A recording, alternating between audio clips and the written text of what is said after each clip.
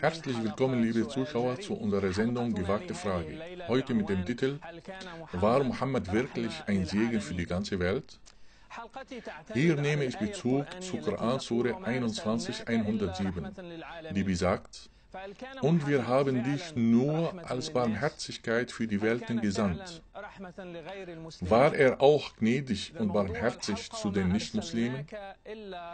Dieser Koranvers wird heute auf seine Richtigkeit überprüft und auch dieser Behauptung wollen wir in Mohammeds Leben auf den Grund gehen.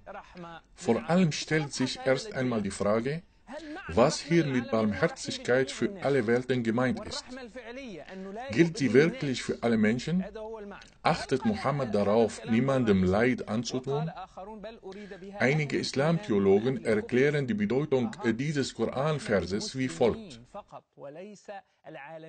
Die Barmherzigkeit bringt man nicht allen Menschen entgegen, sondern nur den Gläubigen, also nur Muslimen gegenüber. Dies gilt nur für solche, die an die Richtigkeit seiner Botschaft glauben. Die Erklärung der muslimischen Theologen ist klar. Einst sagte Mohammed selbst, O ihr Quraysh, bei Allah, ich bin zu euch mit der Schlachtung gekommen. Auch die Aussagen, meinen Lebensunterhalt bestreite ich mit meinem Speer. Und die Aussage, ich bin mit dem Schwert geschickt worden, sollen auch von ihm stammen. Es ist klar, womit er seinen Lebensunterhalt verdiente. Mit Morden und Raubzügen. Muslime sind der Meinung, der Islam wurde nicht mit dem Schwert verbreitet. Das sei eine Behauptung des Westens und der Islamhasser. An dieser Stelle würde ich nur das wiederholen, was Mohammed selbst sagt. Ich bin mit dem Schwert geschickt worden. Mohammed sagte auch, ich siegte durch Abschrecken. Also Terror und Abschrecken waren seine Mittel zum Herrschen und zur Verbreitung seiner Botschaft. Nicht etwa durch Argumente und Überzeugungskraft, wie man denken möge. In einem Hadith, der mehrfach in authentischen islamischen Quellen erwähnt wurde, soll Mohammed gesagt haben, mir wurde befohlen, gegen die Menschen so lange zu kämpfen, bis sie bezeugen, dass es keinen Gott außer Allah gibt und dass Mohammed sein Gesandter ist. In Musnad Ahmad erfahren wir auch durch einen weiteren authentischen Hadith, dass Mohammed mit seiner Handbewegung vor dem Hals gestikulierte, als er den Quraysh mit Mord drohte.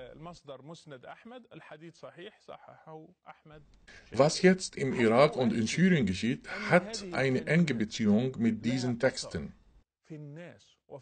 Und den Einfluss dieser Worte Mohammeds aufs Handeln der Menschen in unserer heutigen Zeit zu bestätigen,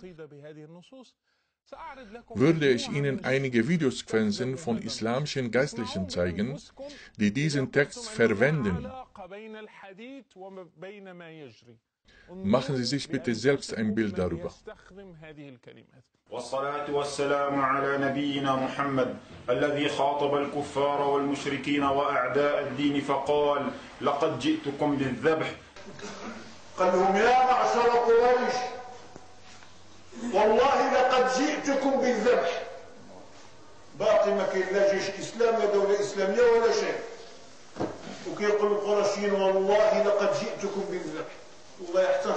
ابوها بعد طلع الإسلام دي مره انت عايش الإسلام؟ مسألة الذبح والشرايط الذي كان يستخدمها لابد أن نفكر في عقلية هؤلاء الناس. كيف ما هي منطلقات هؤلاء الناس؟ المشكلة أن مشايخنا المشايخ والعلماء والمؤسسات الدينية خاصة الرسمية يهربون دائما من الحقيقة. مسألة الذبح هذه في حديث عن الرسول صلى الله عليه وسلم وهو الحديث صححه الشيخ أحمد شاكر وهو عندما قال لقريش جئتكم بالذبح وأشار هكذا. رحمة العالمين Der Prophet der Barmherzigkeit genehmigte sogar das Töten der Kinder von Ungläubigen. Einst erzählten Muslime Mohammed, wenn wir die Ungläubigen nachts angreifen, sind ihre Kinder und Frauen dabei und wir töten sie auch. Eigentlich sind sie keine Kämpfer und besitzen auch keine Waffen. Die getöteten Kinder sind sechs Monate oder ein Jahr alt. Daraufhin sagte Mohammed, sie stammen von ihnen. Diese Geschichte finden Sie in Sahih al-Bukhari im Dschihad-Kapitel. Gemeint ist hier, sie sind genauso ungläubig wie ihre Väter. Also kein Problem, tötet sie. Das Töten von Kindern und Zivilisten ist ein Verbrechen. Für Mohammed ist es eindeutig nicht der Fall. Ist es das, was Muslime unter Barmherzigkeit verstehen? Wenn dies der Fall ist, dann will ich lieber darauf verzichten. Vielen Dank, Mohammed. Deine Barmherzigkeit brauchen wir nicht. Dieser Prophet der Barmherzigkeit ließ alle Männer von Banu Qurayda töten und deren Frauen und Kinder entführen. Die muslimischen Gelehrten berichteten in den islamischen Quellen, dass Mohammed Jugendlichen zu töten befahl, denen die ersten Bart- und Schamhaare wuchsen, also 14- oder 15-Jährige.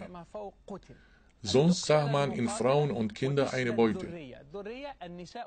Sechs bis 900 Menschen wurden kaltblütig vor Mohammed massakriert. Ihre Frauen und Kinder wurden entweder verkauft oder versklavt. Ihr Schicksal interessierte Mohammed nicht.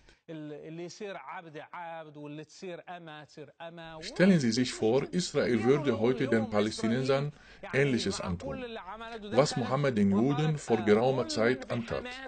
Wie würden wir reagieren, wenn die Israelis die Jugendlichen und Männer von Hamas töten und deren Frauen und Kinder als Sklaven nehmen würden?